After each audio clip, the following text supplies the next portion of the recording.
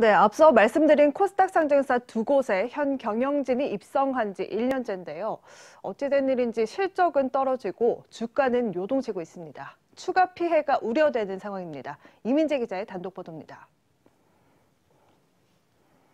IM텍의 올해 3분기 누적 영업적자 폭은 56억 원으로 전년 같은 기간과 비교해 18% 늘었고 순손실은 3배 증가했습니다.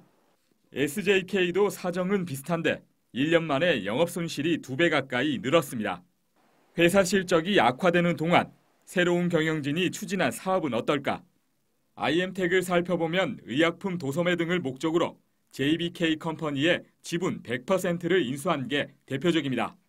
자본금 10억 원인 이 회사의 등기부 등본을 보면 대표는 현 IM텍 대표의 동생인 정모 씨로 돼 있습니다. 지난해까지 이 회사의 매출은 6억 9천만 원, 기타 매출로 잡히는 병원 인테리어가 실적의 전부입니다. 해당 실적마저도 불확실하다는 우려가 나옵니다.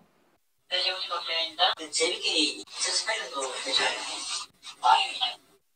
IM텍은 분기보고서에는 2018년 매출로 되어 있지만 감사 결과 2019년 결산 매출로 처리하는 게 맞다는 의견에 따라 일어난 일이라고 해명했습니다. 잦은 자본활동과 시장 제재도 눈에 띕니다. IM텍은 지난 18일 불성실 공시법인 지정 예고를 받았는데 유상증자 발행 예정 주식 수가 기존 공시 대비 20% 이상 줄었기 때문입니다. 또 지난달 말에는 자본 잠식률 50% 이상 등 관리 종목 지정 우려로 매매 거래가 정지된 바 있습니다. 투자주의 환기 종목인 SJK도 영업 양수를 비롯해 전환 사채 발행이 이어지고 있습니다. 이런 중에 주가는 크게 출렁이고 있어 투자 피해로 코스닥 신뢰도에 타격을 주지 않을까 하는 우려도 나옵니다.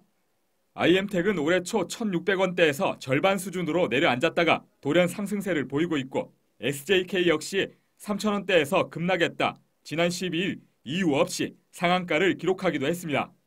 금융당국 측은 최근 주가와 운영 과정 등에 문제가 있을 수 있다며 모니터링을 할 것이라고 말했습니다. 한국경제TV 이민재입니다.